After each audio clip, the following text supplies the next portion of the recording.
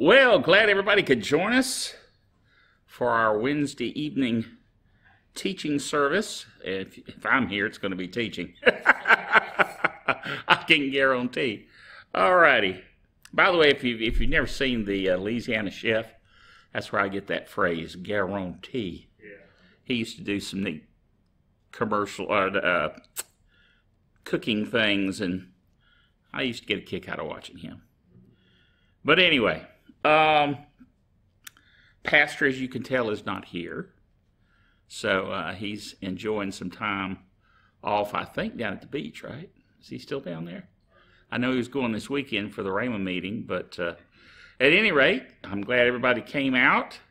I talked about it on my radio program, so I was hoping we'd get some folks in from there, but uh, that's all right. They can catch it later. Video delay. and those of you that are watching on the internet, I appreciate y'all tuning in. Uh, we're going to receive the offering at the end of the service. So let's go ahead and, uh, and open our Bibles. I want to go, uh, first of all, to Matthew chapter 22. So y'all find your place there. I trust you are bringing your Bible. I brought mine on my phone. Uh, pastors wanting to start bringing paper bound or paper Bibles bound in leather. Uh, and I found mine and pulled it out. I'm gonna I'm gonna start bringing it with me. But uh, tonight I'll remain electronic. Uh, but at any rate, we're going to be talking about a topic that I, as I studied this, it's really interesting study uh, on the diligence factor. The diligence factor. There's a lot of people who have asked me through the years, and I mean years, because I've been studying and believing and receiving the Word of Faith uh, message for many, many, many, many years. And uh, er, ever since even when I was in college in the 70s, uh, I was listening to Kenneth Copeland, Kenneth Hagin, and so forth. And I had people even back then ask me this question How come is it? no, not using proper English. How come is it that I use my faith, I do everything that Brother Hagin said to do, and it just doesn't work for me? Well, that is a question that each of us has to answer individually. Okay? And uh, one of the key areas that I think is a point that a lot of people miss is this point of diligence. So we're going to look at that. And in order to get into it, Matthew 22 34, when the Pharisees heard that he had silenced the Sadducees, they gathered together. Then one of them, a lawyer, asked him a question, testing him and saying, Now notice he was testing him. This was not a friendly question. This is like a guy at a press conference asking the president a question he hopes will, will trip him up. And so he asked this question, he says, Teacher, which is the great commandment in the law? And by the way, I'm reading out of the New King James uh, Version. So if you if you're wondering how my Bible doesn't say that, well, New King James does. Jesus said to him, You shall love the Lord your God with all your heart, with all your soul, with all your mind. This is the first and great commandment. And the second is like it you shall love your neighbor as yourself. On these two commandments hang all the law and the prophets. Now, we've heard that talked about, preached about in the past, and people talk like, well, you know, if you if you got these two down, you got all the law and the prophets. All you need is just these two commandments. Well, I know where you're coming from. Jesus is talking about this like if you were to walk into a house and you had a peg next to the door and you hang your coat on it, you know, you hang or your your cat or whatever. This, these are the two commandments that everything hangs on. These are important, no question. But it is not by any means all the commandments summed up into these two. And we're going to talk a little bit about the word commandment here in a few minutes. And don't let that throw you. A lot of Word of Faith folk get all bent out of shape when you start talking about commandments. Ah, oh, Dr. Bill, you're trying to put me under the law. You know, and they get all nervous talking about a commandment. Well, a commandment, if you look it up in the in the Greek and the New Testament, the word commandment used there literally means an authoritative prescription. Now, when you go to your doctor, and maybe you've got some little, I don't know, some little infection or something, and he diagnoses it and he says, I'm going to prescribe some antibiotics to you. You take these antibiotics twice a day without fail. You need to follow the prescription. If you do that, then this will clear up. And sure enough, if you follow the prescription and you take the medicine the way you're supposed to, then within two or three days, what do you know? The infection's gone. And, you know, you, it, you don't have to deal with it anymore. You don't have to deal with the symptoms anymore. Now, he usually says keep taking them till you take them all up. And a lot of people stop then and then it drops out of their system and they don't get the full effect. So you got to take it according to the authoritative prescription. It's authoritative because the doctor ought to know what he's doing. You know, I mean, if it's just Joe on the street, no offense, Joe, on the street saying, Yeah, take these, they really help me, and you don't even know what's in the bottle, that's not very authoritative. So you go to a doctor because of his expertise. You go to the doctor because he hopefully knows what he's talking about. Now, you know, my personal experience is, is they're still practicing medicine. They hadn't got it right yet. All right? That's just my personal experience. When I ended up in the hospital, it seemed like they were flipping coins trying to figure out what was going on. but anyway, that aside, an authoritative prescription is not a bad thing. It's not something you ought to be fighting. And really, that's what the commandments of the Lord are. Are authoritative prescriptions for us on how to live, how to think, how to speak, how to act. All of those things are what the Word of God says are commandments. And He lays them out in the Word, and, and they're simple to see. And there's another scripture that says that His commandments are not grievous. That's a good King James phrase. It means it's not hard. They're not hard on you. God's not just being hard on you for the sake of being hard on you. I know a lot of Christians kind of feel that way sometimes. Lord's just trying to cramp my style. no, he's not. He knows what works. He knows what will bless you. And if you follow his authoritative prescriptions for life, you'll be blessed. Now, we just quoted that scripture from Jesus in Matthew 22 in verse 35. I'm going through verse 40. Let's look now at Joshua chapter 22. Joshua chapter 22, verse 5. This is what Brother Kenneth Hagin used to call the golden text. This is what we're basing our study on, is this particular verse of Scripture. So let's take a look at it. But take diligent, notice the word diligent, underline that in your mind. But take diligent heed to do the commandment and the law, which Moses, the servant of the Lord, charged you to love the Lord your God, to walk in all his ways, to keep his commandments, his authoritative prescriptions, and to cleave unto him, and to serve him with all your heart and with all your soul. Now, that, in a nutshell, is really what we're talking about here being diligent to do what God said to do. Now, in order to put this in context, I think it's good to read the context of Joshua chapter 22.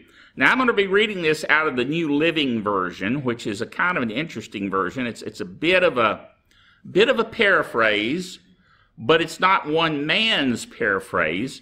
There were translators that got together and came to a consensus on how to make this a modern translation. So it's a little better than the old Living Bible, which was just Kenneth Taylor's paraphrase, one guy. Uh, so, you know, I wouldn't necessarily recommend the NLV for for personal study all the time, but it does state things in a very modern and clear way. So let's begin in verse 1. Then Joshua called together the tribes of Reuben, Gad, and the half tribe of Manasseh. And he told them, I want you to think about this while we read this. These are the Jews. Now it's a, a subset, it's just a few of the tribes. But you remember the reputation of the Jews dealing with God? Seemed like he was always said, You guys are a stiff necked, people, you don't obey what I'm telling you to do. You're building golden calves out in the wilderness to worship. I mean, bunch of knuckleheads. That was their rep. Okay? Their reputation preceded them as far as we're concerned. We look back on the Jews and think, you know, I'm talking about the, the Israelites back in the in the day.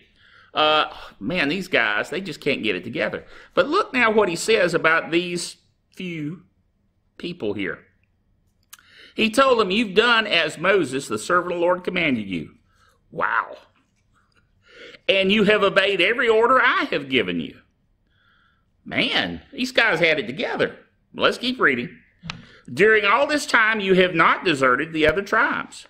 You've been careful to obey the commands of the Lord your God right up to the present day.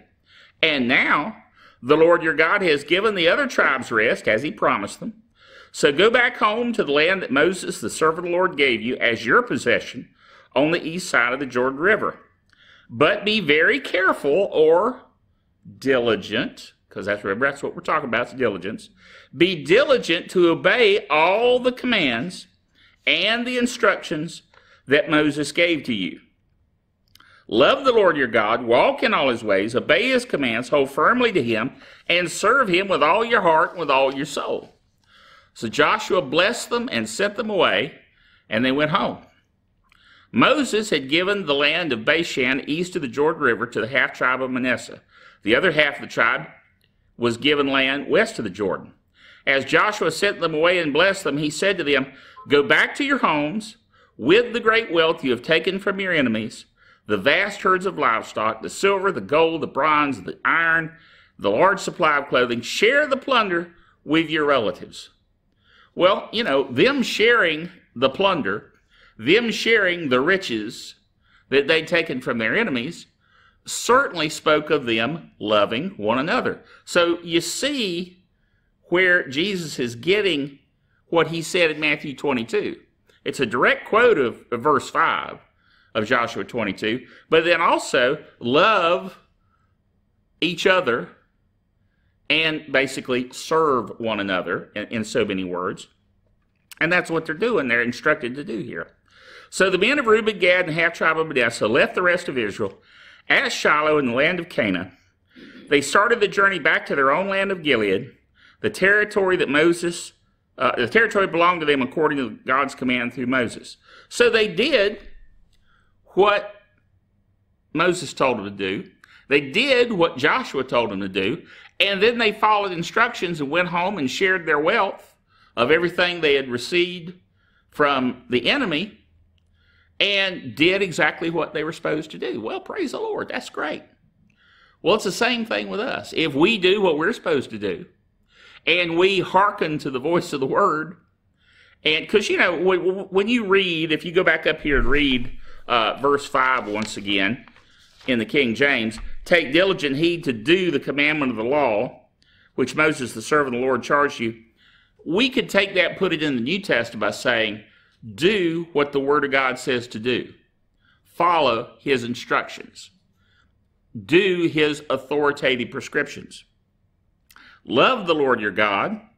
Walk in all His ways. Well, that's walking according to the Word. Keep His commandments and cleave unto Him and serve Him with all your heart and with all your soul. Now, the all your heart and all your soul, to me, again, speaks of diligence. So let's go back to our person that's trying to figure out why this stuff doesn't work for me. Well, I'll tell you what, I've noticed something about some Word of Faith folk. And I'm not really casting aspersions on anybody. This is just merely an observation. As Brother Fred Price used to say, this is merely an observation.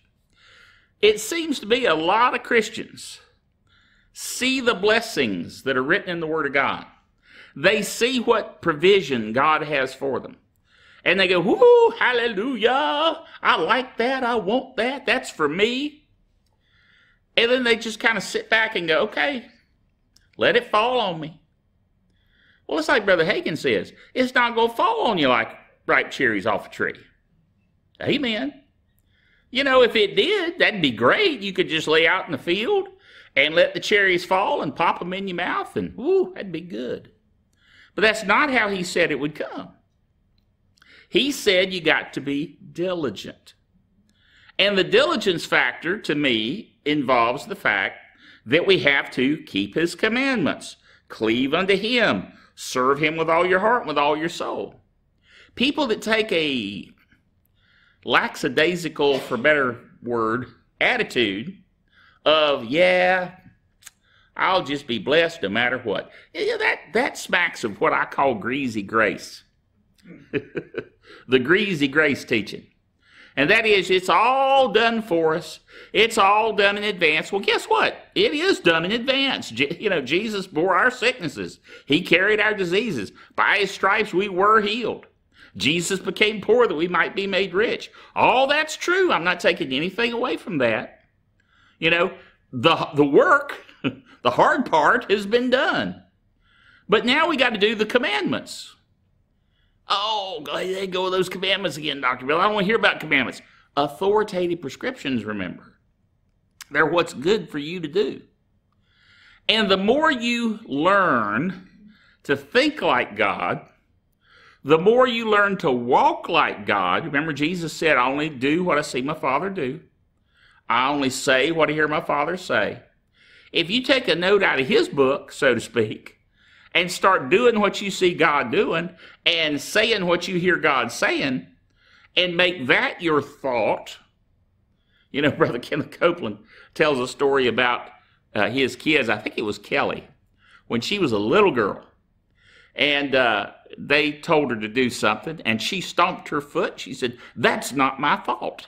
and I remember that story because I, I, I, I've seen kids do that. They get all rebellious. It's not my fault. I'm, I'm not going to do that. Well, if we stomp our foot and say, Lord, I'm not going to do that, and we get rebellious, then we reap the results of the rebellion, which is those things don't come to pass. And are, are we then surprised when it doesn't work? No, we shouldn't be because we need to think what God thinks, say what God says, See, God's not confused. You know, when I was laying in the hospital and the doctor said you got a week to live, and he said we're going to send you home to die, uh, he was very confident of what he was saying. Matter of fact, he told me flat out, he says, Now, we need you to do this because, frankly, we need the hospital bed for people we can help. We can't help you. You're going to die. So we just go send you home and let you die there. You know, you'll be more comfortable there anyway. Well, I'm thinking, you know, I'm like Brother Hagin. Brother Hagin, when he was laid on his deathbed, and the and the uh, preacher came in and patted his hand and told him, "Just be patient, my boy. In a few days, it'll all be over." And he couldn't talk, but down inside, he was saying, "I ain't dead yet." and he just kept saying that inside, "I ain't dead yet." And I felt the same way laying there in the hospital. I couldn't talk. I could only gesture yay or nay, you know, with my thumb. Uh, but I'm laying there and they ship me home. And I'm thinking, I ain't dead yet. I'm gonna, praise God, get up off this bed. I'm gonna walk. I'm gonna do what I'm supposed to do. I, I got I got work to do. I'm called of God to do certain things. And so I, I started locking in. So what did I have to be? I had to be diligent. I had to be listening to the Word of God. I was surrounding myself with the Word. Uh, Pastor Janie had given me, you know, a sheet of paper that had all the scriptures printed out on it. And and when I couldn't read it, which I couldn't initially because I couldn't speak, uh, Belinda would read it to me, and she'd just sit there beside the bed and read it to me, and read it to me, and read it to me. And I'd be sitting there going, That's right, that's right. I'm the healed of the Lord. Hallelujah. Healed from the top of my head to the soles of my feet. And I just kept meditating on that. To meditate, in the Hebrew, the word that's translated meditate, is to mutter, which means to speak, even under your breath. I couldn't speak very loudly. Now, I am known for my voice. I don't need a PA system. I got a built in one. and even when I do radio spots, you know, you're listening to WFR.org, Word of Faith Radio. And I, I do the, the what I call the FM DJ voice.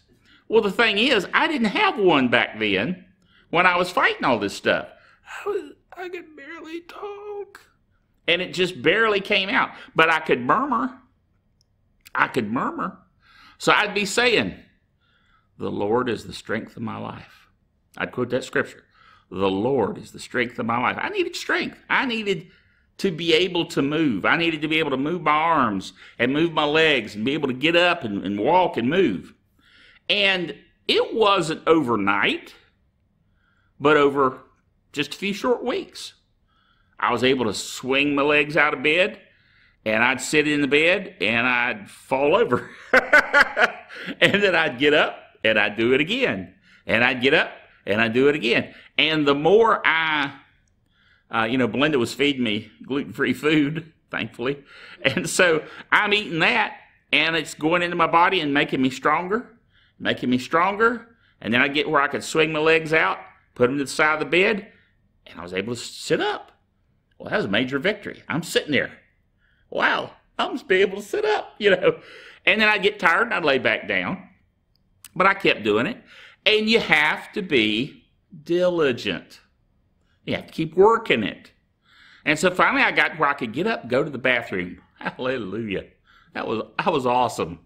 I was so tired of laying there in bed and having to deal with, you know, bedpans and everything else. And so then I got where I could go to the bathroom. I felt like I'd been liberated. But over time, I got stronger, I got stronger, got stronger, got where I could walk, got where I could do things again. The voice came back. Hallelujah. That was, boy, that was a miracle. I told Belinda, I said, man, I feel like I have come a long way. I can talk again. And she said, use your inside voice. which, which is what she's always telling me for some reason. But anyway, but I tell you what, I'm glad to have my voice back. It makes it so much easier to be on radio when you have a voice to speak with. But at any rate, let's look at some of the benefits of diligence. Let's look at a few other scriptures. Proverbs 10 4 says, He becometh poor. Now think about this. He becometh poor that dealeth with a slack hand. And remember what I was saying about folks getting really kind of slack, not really studying the word, not really hearing the word, not really meditating on the word, not going to church like they ought to. We're to forsake not the assembling of ourselves together as the manner of some is. So we ought to be here. Hallelujah. Listen to Pastor preaches the word. So he becometh poor that dealeth with a slack hand, but the hand of the diligent maketh rich. Now that's just natural wisdom as well as spiritual wisdom. In the natural, we know that if you go to work at a job and you are diligent in that job, you put your you know, as they say, nose to the grindstone, so to speak, but you do what is required of you in that job, that's when you advance. Matter of fact, most of the time, you don't advance in a job until you're doing more than what is required of you. That's something this younger generation doesn't seem to understand. You know, they'll say, well, why haven't I been promoted? Well, you're really not standing out. I'm doing the job. Yeah, you're doing the job just barely, but you're not achieving beyond that. And so it's that next step of being diligent, not dealing with a slack hand, but being diligent, putting your hand to it. And then you start to prosper. And then you start getting promoted. I never will forget when I started being promoted at work. And uh, the first time I went in to ask for promotion, I wasn't talking to my boss. I was talking to my boss's boss because my boss had had to go to uh, Basel, Switzerland. He was that was headquarters at the time for Ciba Corporation, and my boss's boss didn't think much of me. I don't know what it was. I have no idea why he felt like he did. You know, bless his heart. Uh, but I went in and I said, you know, I've been here for a couple years now, and I'd like to get a promotion. I'd like to be promoted. He said, Bill, I'm telling you, you're just now doing what we hired you to do. And I thought to myself, I don't think that's really true because when you hired me, you, it was to switch out tapes and do backups, which is operations work in the computer world. I had progressed on to where I was programming devices and doing device drivers in assembly language and uh, you know wiring closets with complete wiring and I'd moved on. in terms of my responsibilities. And, and at that time, uh, because my boss was in Switzerland, uh, they brought in a guy from Switzerland to fill his place, but he didn't know anything about our shop. He didn't know anything about our computers. So I was having to tell him how to do what we needed to do to keep them all running. So in effect, I'm kind of doing his job and my job, which is why I felt, felt like it was probably a good idea to go ask for a raise or a promotion. And uh, so this guy, my boss's boss, he kind of blew me off. So I, you know, I'd been looking online to see what other positions might be available out in the community. And sure enough, there was one over at A&T University, and they wanted a system manager. Well, I was a peon down here. System manager was way up here. So I went and interviewed, went to A&T, and uh, oh, they liked me. They thought, ooh, hey, we, we like this guy. So they hired me. So I go back to my boss's boss, and I gave him my two week notice. and he goes, uh, uh, apparently I didn't tell you what you wanted to hear. I said, no. Because now he's left without anybody that knows the shop and how to run it. He's got a guy from Switzerland that I'm telling what to do in effect. And now I'm leaving. And he's like, and I thought, well, you made your bed, dude. You got to lie in it now.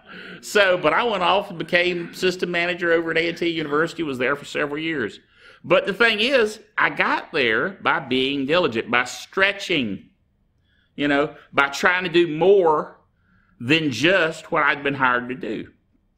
And it paid off for me very handsomely in then I got a big raise, got a new position, new title, and eventually even came back to that company I left six years later, or two years later. That's right, two years later, and I was there for six more years. That's what it was. Um, and then came in then as a really high level position. So, whoo, hallelujah. Anyway, the Lord promotes you. Uh, but he that becometh poor that dealeth with the slack hand, the hand of the diligent maketh rich. Next verse, Proverbs twelve twenty four. The hand of the diligent shall, shall bear rule. Like I said, I became a manager because I was diligent. The hand of the diligent shall bear rule, but the slothful shall be under tribute. Now, under tribute is a term that basically means taxed, or, uh, you know, you have to pay the man. I don't like paying the man. Just between you and me, I've never enjoyed taxes. It just never did ring my bell at all. Okay? Uh, seems like I don't really get a whole lot for those taxes I'm paying.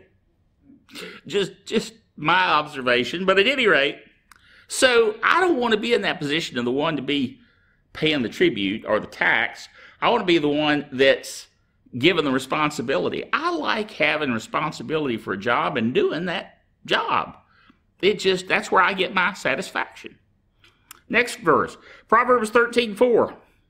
The soul of the sluggard, boy, that sounds, that's the soul of the sluggard desireth and hath nothing. But the soul of the diligent shall be made fat. Now you got to understand the way they fought back in those days. To be made fat was to be made rich. Okay, today we look at, well, I don't want to be made fat. I understand, believe me. But the thing is, that's not what this is talking about. To be made fat means people who were overweight back in those days in the desert were only rich people. Think of it that way. Because they're the only ones could afford to eat a lot of food. Most of the folks that were out there were working, their, you know, uh, their legs off and their arms off, try to keep some food on the table. So those made fat were those that were made rich. So let's read it that way. Uh, the soul of the sluggard desires and hath nothing. Got big dreams, but never gets anything. But the soul of the diligent shall be made rich and have full provision. Let's put it that way. And that's the truth. That's the way it is. Next verse, Proverbs 21 5. I'm going to go through several of these quickly. The thoughts of the diligent tend only to plenteousness or full provision. Let's put it that way but of everyone that is hasty only to want. Now, that is a good verse right there for anybody that's wanting to get involved in a get rich quick scheme. And I'm telling you, seems like Word of Faith folk, my experience again through the years, is that Word of Faith folk tend to be kind of suckers for the MLMs and the get rich quick schemes. I had a guy come to me when I was pastoring. I pastored back in 1980, 81 time frame. And a guy in my church came to me and says, Pastor, I got to share something with you. And my alarm bell started going ding, ding, ding, ding. Because I knew this guy. Bless his heart. He's a great guy. But he says, I got to share something with you. This, this is, you're going to get rich. I said, Really? Oh, yeah, yeah, yeah, you're going to get rich. So I said, uh, we, He said, Go with me to a meeting. Well, again, my alarm goes ding, ding, ding, ding. And I thought, Well, bless his heart. I, I don't want to disappoint him. I guess I'll go.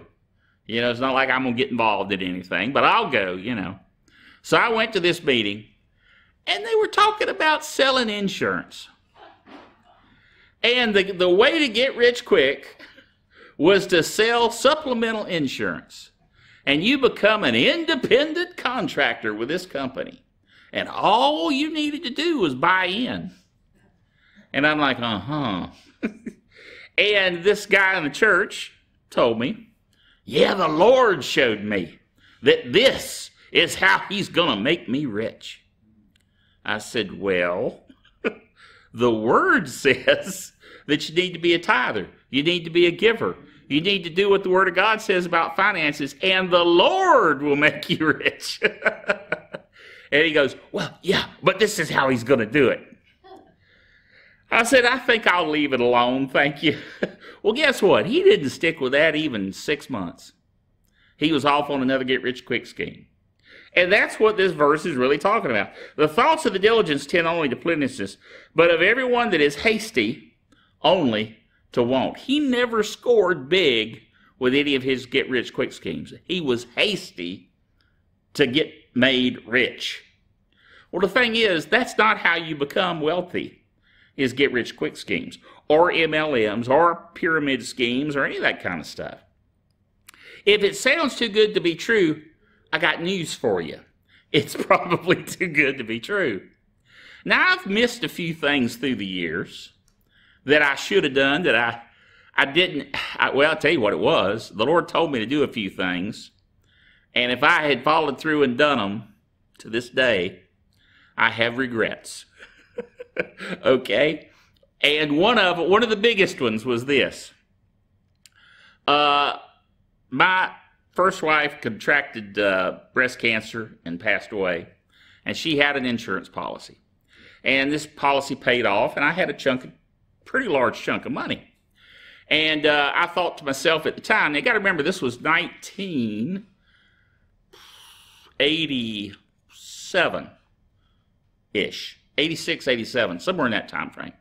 And uh, one of the things that just floated up in me, I believe it was a prompting, you should take some of this money, about say $25,000, take some of this money and invest it in Microsoft. Well, now that sounds like, well, yeah, of course. At that time, Microsoft was nobody. They were challenging IBM. Nobody knew who they were. I had heard of them, and I liked what I was seeing. But I, I got this prompting. You ought, to, you ought to put 25000 in Microsoft. And so, you know, I'm young, and, and I don't know much about finances. So I went to talk to a friend of mine who worked at Ciba where I was working, and he was the finance wizard there. He was like, he was in charge of statistics and financial dealings all this kind of stuff. And I greatly respected him. I mean, he had a he had a master's degree in it, and and so I go to him and I say, Lewis, I've been thinking I need to invest in Microsoft. He goes, Oh no, that's too risky. You shouldn't do that.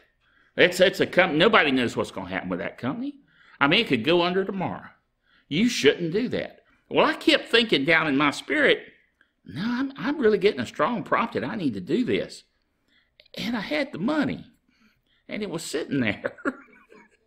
but I said, okay, okay, Lewis thinks I shouldn't do this. All right. Well, we figured up here recently what that would be worth today. And I'm thinking it was something like $80 million. If I'd have just left it sitting there and the dividends that would have come in, I'd have been worth about $80 million. Well, you know, that would have been nice. but I have to look back on, I even told Lewis later, I saw him many years later. I said, Lewis, yeah. You remember me telling you telling me not to invest in Microsoft? He goes, Yeah. yeah. Sorry about that. I said, It's okay. It's fine. I mean, I didn't hold a grudge or anything like that, but it was one of those I could have had a V8 moments. you know what I mean? If I'd have just followed that prompting. But see, that's the thing. Be diligent to do what the Lord prompts you to do. Now, at that moment, at that particular time, that 25,000, I wouldn't it wasn't money that I had saved up. It wasn't money that I needed to do anything with. I could have done it and never even noticed it. Completely forgotten about it and then been $80 million richer later. well, praise the Lord. but I look at it, Blaine and I were talking about this, you know, that's where the devil stole some money from us. We're going to believe for seven-fold return on that. The thief stole it. He's got to return it. Getting me to listen to Lewis. anyway. Oh, man. Oh, we can have fun anyway. Uh, let's look at Proverbs 21 5 out of the NLV, a little different translation. Good planning and hard work lead to prosperity but hasty shortcuts lead to poverty. Amen. Now that really says it right there. Good planning and hard work. If you want to advance in your career, plan, work your plan, and work hard. And guess what? You'll prosper.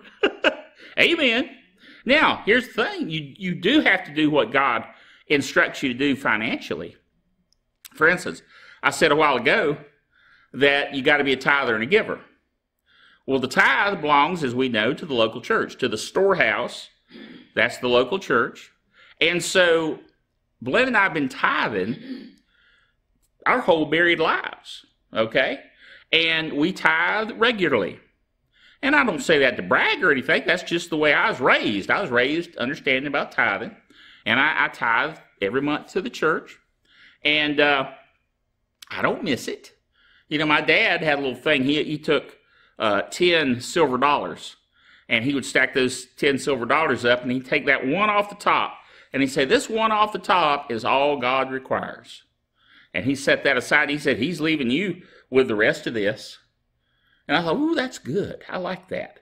And I've always remembered that little story, that little picture story of, of the coins.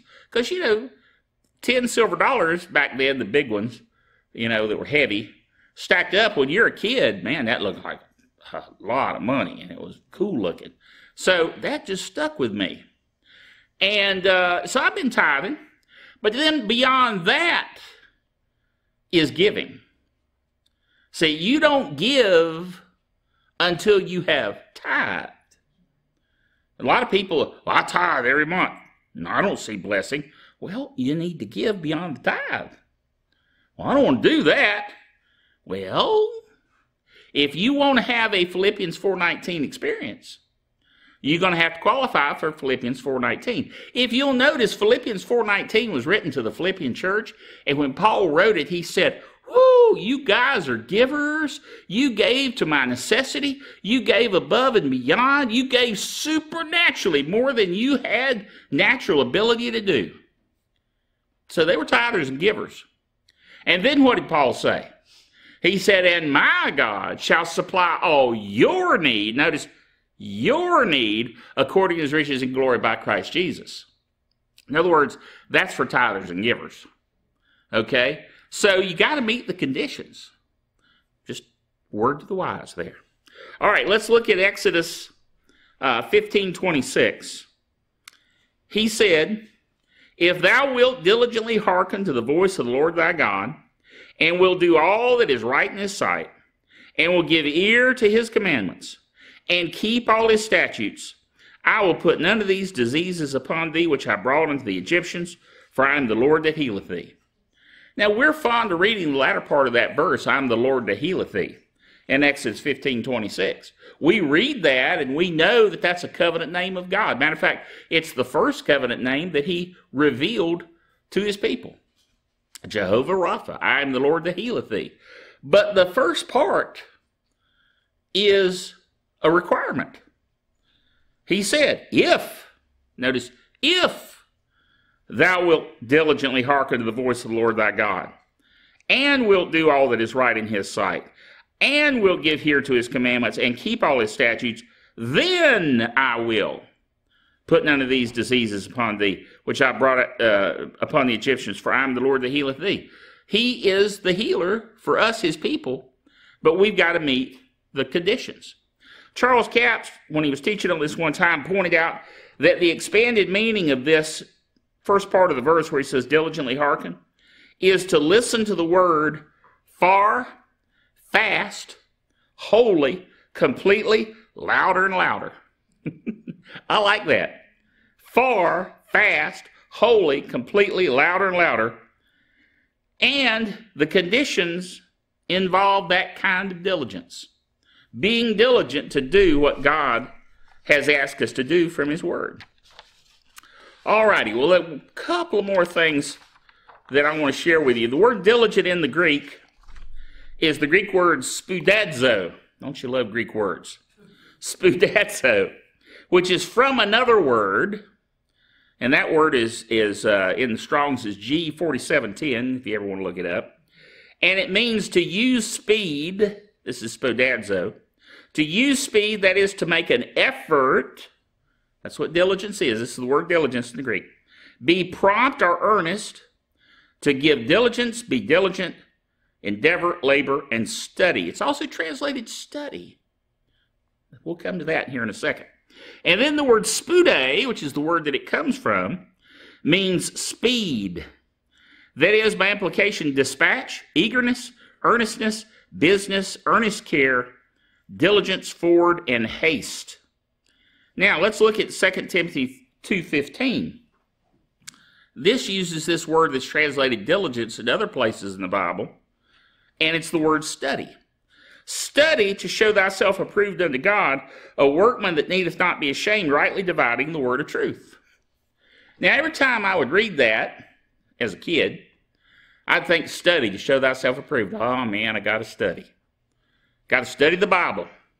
Well, that's true, but this word, spoude, spudadzo, uh, spoude is the word it comes from, spoudazo, means to, uh, to use speed, effort, earnestness, diligence to show yourself approved unto God. So this is where we need to be. We need to be diligent. That does involve study of the word. That does involve applying ourselves and being diligent. 2 Peter 3:14 says, "Wherefore, beloved, seeing that you look for such things, be diligent that you may be found of him in peace without spot and blameless." That's that word spoudazo. Let us labor, that's the word translated from spoudazo. Let us labor or be diligent, therefore, to enter into that rest lest any man fall after the same example of unbelief. And there he was talking about where the children of Israel didn't mix faith with the word. We've got to mix faith with the word of God. We've got to apply ourselves. We've got to labor to enter into the rest he has for us. That sounds contradictory to us. Labor to enter into rest? What, what does that mean? Well, if you think of it as diligence, all of a sudden it clicks into place and makes sense. We're diligent to enter into rest. We're diligent to rest in God and His Word and His promises. And it really comes down to that conditional factor of doing what the Word of God says. Amen? So I trust you got something out of this tonight about diligence, applying yourself. Listen to the Lord, cleave unto Him, study the Word, be diligent in the word. Be diligent to come to church. Be diligent to hear pastor preach and other ministers preach. And faith comes by hearing and hearing by the word of God. Romans 10 17. It builds you up. Pray it in the Holy Ghost. Jude verse 20. Uh, chapter 1, verse 20, but there's only one chapter in Jude. Beloved, building yourself up on your most holy faith, pray it in the Holy Ghost. Be diligent to pray in the Holy Ghost. Be diligent to study the Word. That's how these things begin to work. It works, and the best way I can put it, it works when you put it to work. But you have to put it to work. Amen? All right, get anything out of this? Praise the Lord. I sure did. I loved this study. It just it just developed and grew and scriptures coming together. I just I get into that. Amen. As a teacher. Um, well, praise the Lord. We want to receive our offering for tonight since we've been talking about giving. And uh, you know, any gift that we give, any tithe that we give to the church is going to turn around bless us. Praise the Lord. So let's pray and we'll receive the offering. Father, we thank you for this time set aside for us to study your word. We thank you, Father, that we have opportunity now to return to you our tithes and our offerings. And we just believe that these tithes and offerings will be used to fund the ministry of the church, the ministry of Expedition Church of the Triad here in the community, and reach people with your word. We thank you for it, Father, and we call ourselves blessed for obeying your word in Jesus' name. Amen. Amen. Brother Jay, go ahead and receive that. If you're giving online, go ahead and give uh, with our electronic means with uh, Square Cash, uh, which is dollar sign Expedition Triad. And then you can also give through PayPal at give at expeditiontriad.org. And uh, we'll uh, gladly receive your tithes and offerings. Your tithes really ought to go to your local church, so tr- I trust you're doing that. But any offerings that you want to give, we'll certainly receive and, and use them for the kingdom. Praise the Lord. Don't forget, Sunday, Pastor will be back. Uh, don't forget, Shekinah Glory is coming in October. Ooh, I'm looking forward to that. That's going to be good. I'm going to be diligent to be there. Amen. And as for tonight, you are dismissed. Those of you online, we'll see you next time. Remember, until then, to fulfill the Word of God.